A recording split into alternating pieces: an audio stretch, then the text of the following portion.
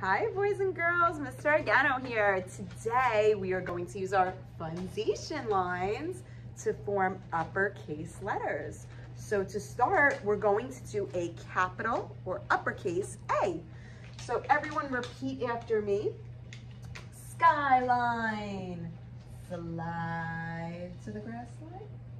Skyline, slide to the grass line and connect the middle on the plane line.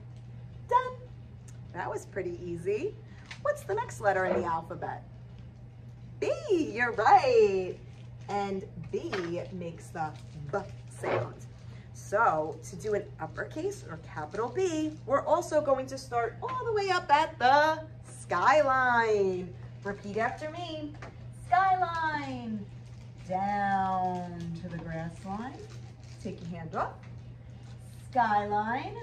Bubble out to the plane line. Bubble out to the grass line. Done. The B has two bubbles. You're going to do a great job.